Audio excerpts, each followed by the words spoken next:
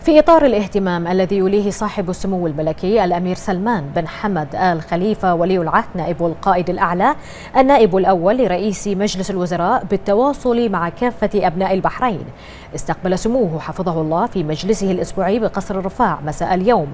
أفراد العائلة الملكة الكريمة والوزراء وأعضاء مجلسي الشورى والنواب والبلديات وعددا من رجال الدين والفعاليات الاقتصادية والاجتماعية وأعضاء السلك الدبلوماسي في المملكة والشخصيات الأكاديمية والفكرية والإعلامية وعددا من أفراد المجتمع.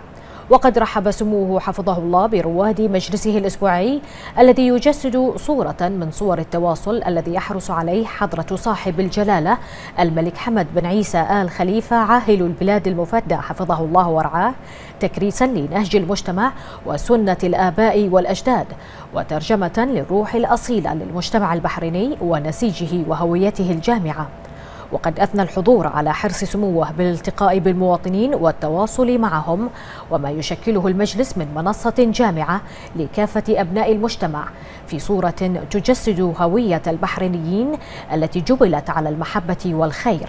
منوهين بجهود تعزيز أسس التنمية المستدامة لتحقيق المزيد من الرخاء والتقدم وتأمين الحياة الكريمة للمواطن.